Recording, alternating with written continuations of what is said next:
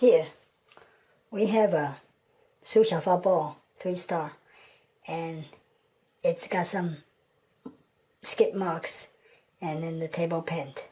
So the best way to clean it, well, it's not water is not enough, and uh, don't use uh, something like a soap.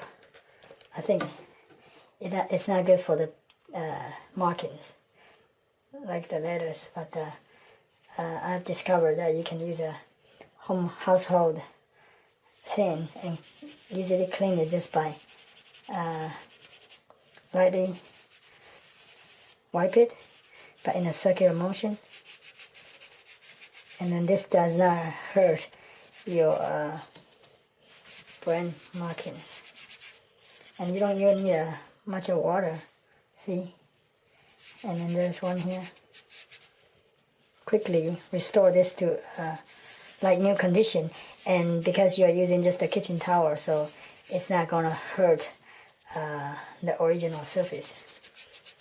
It's not gonna make the surface too smooth as if you use a abrasive uh, kitchen pad, kitchen uh, dishwashing pad or something. But this is very easy and cheap. This is the baking soda.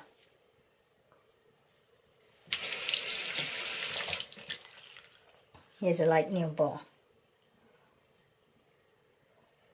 As you can see, it's very easy to do.